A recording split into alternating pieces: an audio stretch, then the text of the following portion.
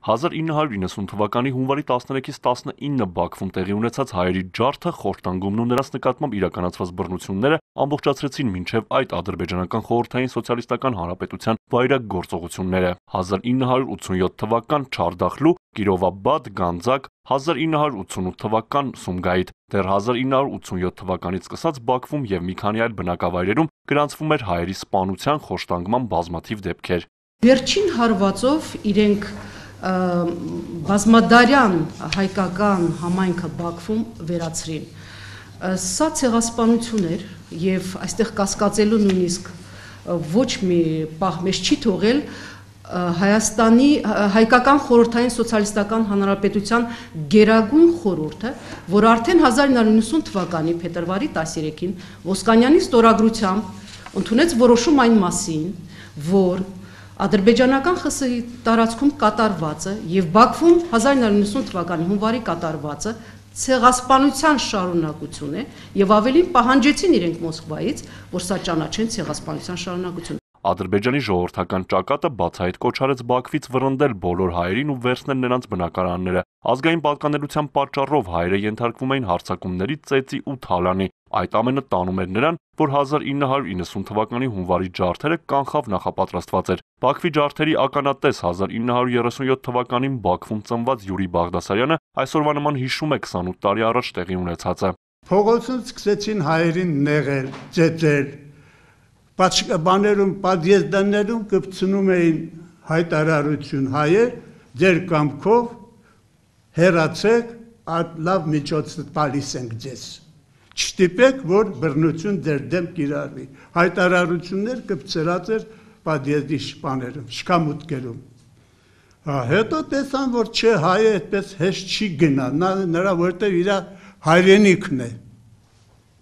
Ոչ միայն ծնվել են, իր պապերն են ապրել։ Հայրենիքն է հայի։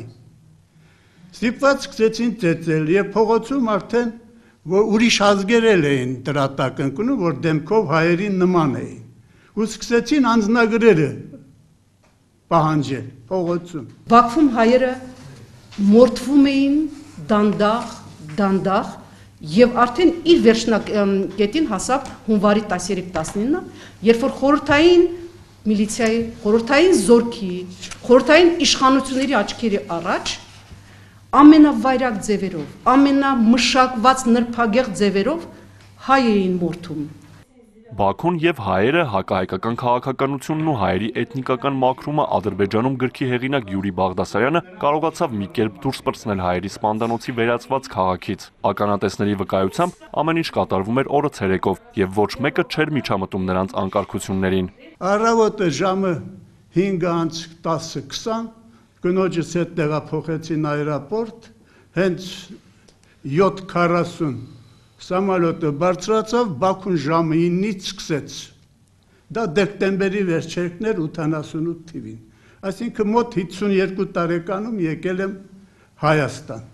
ԽՍՀՄ Գերագույն խորհուրդը հունվարի 15-ին քննարկեց Բաքվում կատարվածը եւ անհասկանալի որոշում ընդունեց արտակարգ իրավիճակ մտցնել ոչ թե Բաքվում, այլ Լեռնային Ղարաբաղում եւ Ադրբեջանի ու Հայաստանի որոշ շրջաններում։ Հունվարի 19-ին ադրբեջանցի ջարդարարներն այլևս հայ չեն գտնում։ Հաջորդ օրը հայերի հետ խնդիրները լուծված համարելով շրջափակում են իշխանության շենքը։ Նիկոլայ Ռիշկովը միայն հունվարի 20-ի առավոտյան կատարվածը որակեց ողբերգություն։ 28 տարի է անցել Բաքվի արունալի դեպքերից, բայց ոչինչ չի մոռացվել։ Այդ մասին ժամանակ առ ժամանակ մեզ հիշեցնում են նաև մեր կողքին ապրող փախստական դարձած մարդիկ։ Բանախոսները մեծ ցավով արձանագրում են, որ փախստականների խնդիրը մինչև այսօր միջազգային քննարկումների օրակարգ այդպես էլ չմտավ։ Կարծես թե նայելով մեր դեպքերին